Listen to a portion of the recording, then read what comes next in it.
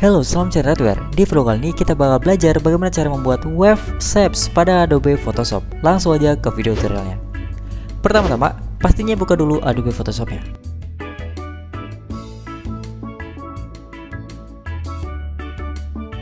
Oke, di sini saya sudah berada pada software Adobe Photoshop.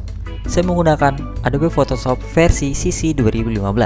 Untuk membuat wave shapes, di sini saya bakal menggunakan rectangle tools atau rectangle shapes. Pilih rectangle tools, kemudian gambar rectangle dulu secara memanjang biar waves-nya itu terlihat. Kalau sudah, jangan lupa seleksi bagian rectangle 1, pergi ke bagian filter, pilih distort dan pilih wave.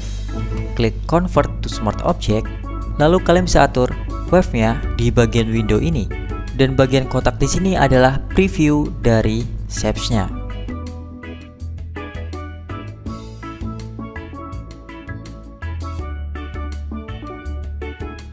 Kalian bisa pilih tipenya, mau pilih sign, triangle, atau square.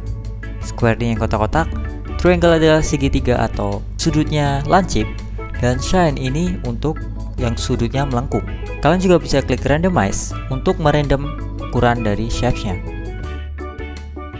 Kalau dirasa sudah cukup, bisa klik OK. Dan secara otomatis, shapes yang kotak tadi bentuknya sudah menjadi wave. Kalian juga bisa ubah warnanya dengan double klik bagian rectangle 1, double klik rectangle satu lagi, dan ganti warnanya. Lalu bisa close bagian ini, dan klik yes untuk simpan. Otomatis, warna dari wave shapes-nya telah berubah. Oke, itu adalah bagaimana cara membuat wave shapes pada Adobe Photoshop. Jika kalian suka dengan video kalian, jangan lupa like, kalian suka dislike aja. See you next time, and goodbye.